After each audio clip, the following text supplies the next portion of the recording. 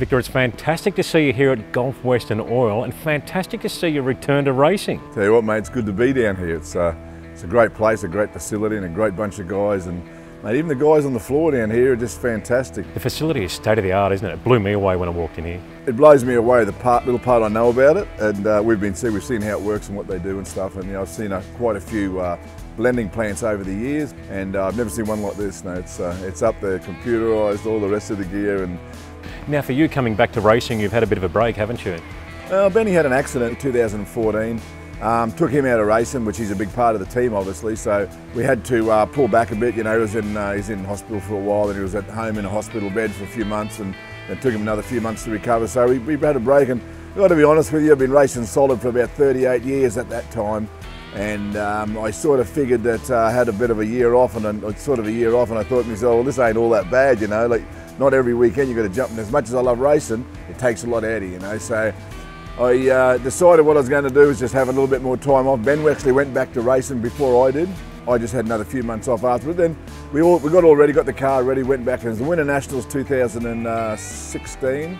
I decided I'd go back, get back in the car. Got back in the car. Yeah, a little bit hesitant. Yeah, been out of it for a while and jumped back in the car. First run, 599 straight down the middle, 246 mile an hour. Loved it. And car felt so good.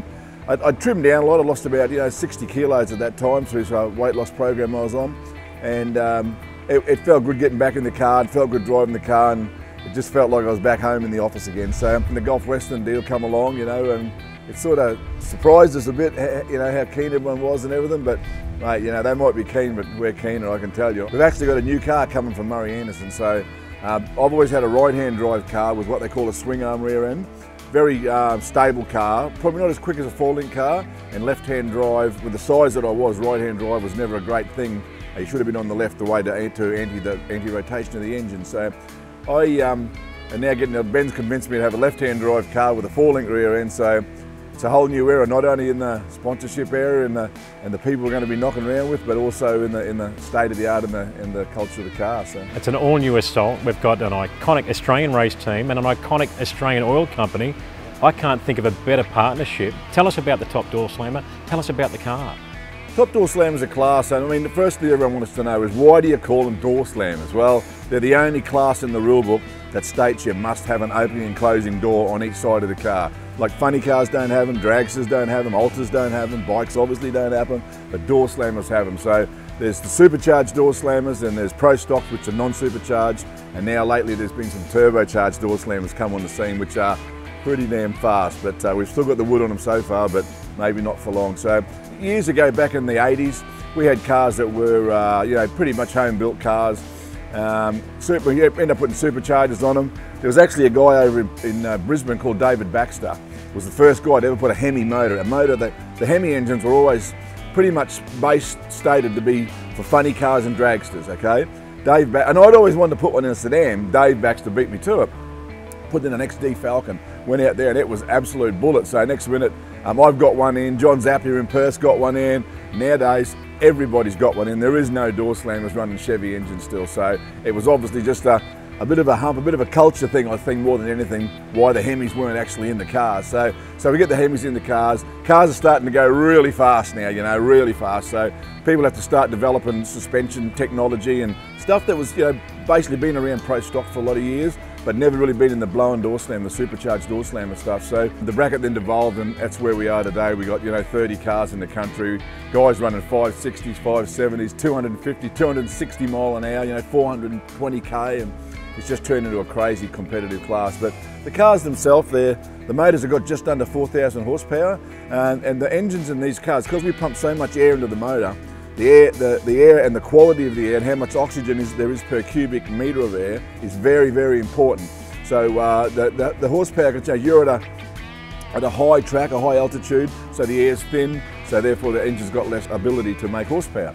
So, but when you get on, say, the Winter Nationals, when you're at below sea level and the air's full of uh, oxygen, right, because it's, it's, you know, there's a high there or something like that, uh, the cars will go. So the horsepower varies, say, between Ran about 3,600, around about 4,000. I think on a really good day when the air drops what we call below zero, so it's more than 100% saturated with oxygen, um, you can then have, uh, you know, the cars might make 4,000 plus a little bit, but um, They're, they've always been manual cars, like they've got manual transmissions in them, but they've always had a clutch in front of that transmission, so there's been a clutch between the engine and the transmission. And in that, uh, but that's recently changing, it's converting over to torque converters.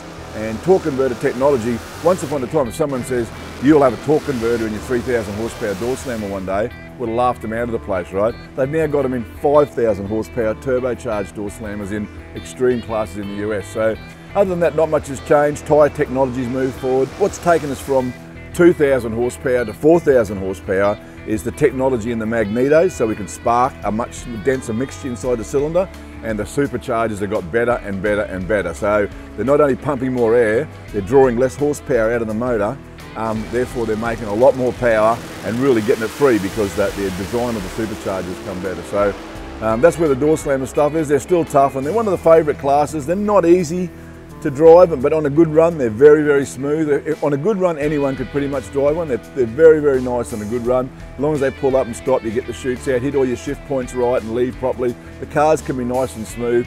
And when you're in the car and you go down the racetrack, the fast runs are the smooth runs. And if it's all over the place and hopping and jumping, you're pretty much not going to run a big number.